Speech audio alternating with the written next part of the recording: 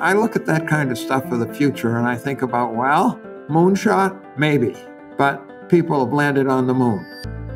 This is Tomorrow's Cure, a podcast from Mayo Clinic and PRX. We're back for season two, and together we'll continue to explore groundbreaking advancements shaping the future of healthcare. I'm Cathy Wurzer. Join me as I interview experts from Mayo Clinic and other leading organizations as we learn how doctors and researchers are creating new solutions for the toughest medical challenges. The interesting thing is that for most of radiation oncology, we avoid the heart. So it's a new concept for us to be intentionally putting dose into the heart because that's where the issue is.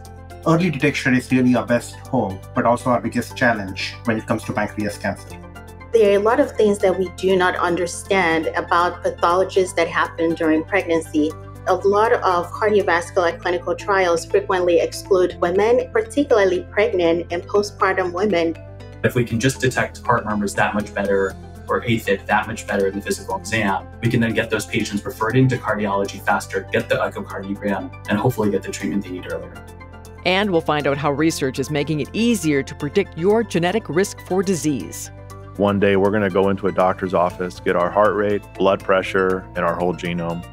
We'll also explore how virtual reality and simulation enhance medical education being able to create a simulation that could be done anywhere in a headset at home, on the bus, through a mobile phone, gives students an extra chance to keep learning in between those more in person experiences and introduce some of the more complex scenarios they might face when they need to.